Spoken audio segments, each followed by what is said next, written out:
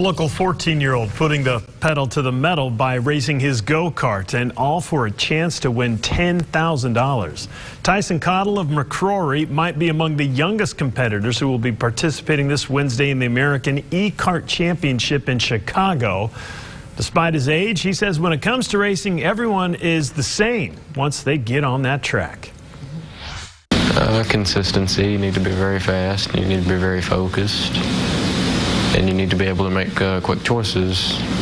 The race is essentially the Super Bowl of electric kart racing with the chance to be recognized on a national level. Tyson says many of the great NASCAR drivers, such as Jeff Gordon, started in kart racing, which is where he hopes to end up one day. In a digital original you can find on fox16.com, see what Tyson says everyone should know before stepping onto that track. How cool is that? Good for him. Wish him the best. Yes, good luck to you.